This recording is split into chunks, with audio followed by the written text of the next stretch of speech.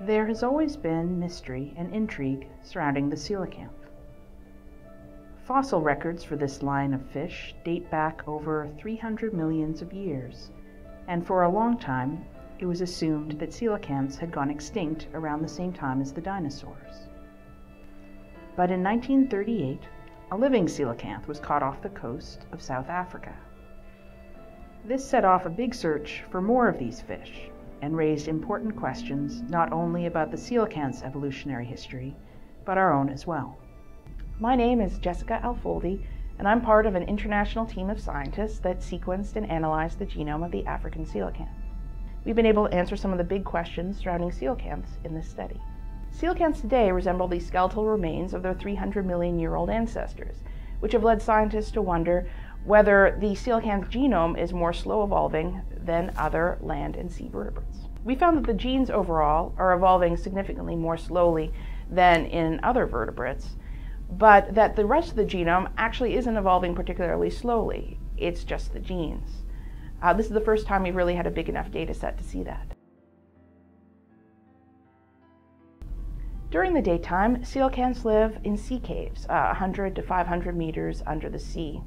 Uh, some migrate to even deeper waters.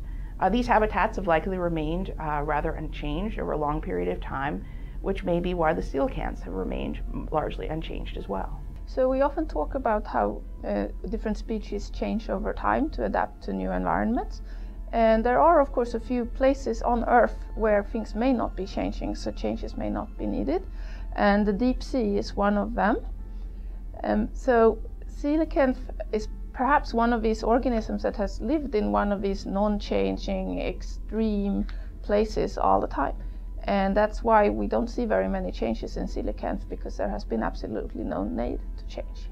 Coelacanths possess some features that look oddly like those of uh, land vertebrates, such as their lobe fins, which look like the limbs of animals that live on land. There are other odd looking fish called lungfish that also possess these lobe fins. It was a lobe fin fish that gave rise to the first uh, vertebrates that came out of the water and onto land. But until now, researchers couldn't tell whether it was the coelacanth or the lungfish, which is most closely related to today's tetrapods. We finally have an answer to the question which species, the lungfish or the coelacanth, that is most closely related to tetrapods. And the answer now clearly is the lungfish wins.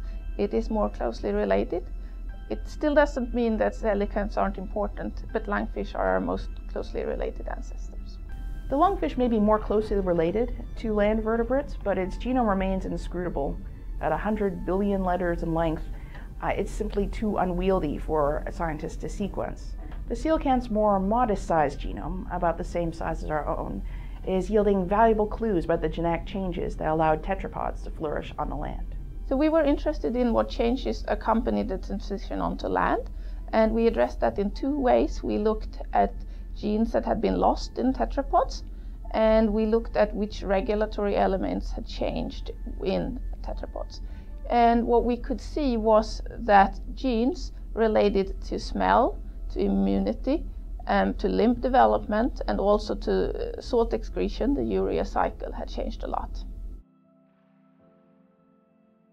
Although its genome offers some tantalizing answers, we anticipate that further study of the coelacanth's immunity, respiration, physiology, and more will lead us to critical insights about how some vertebrates adapted to life on land, while others remained creatures of the sea.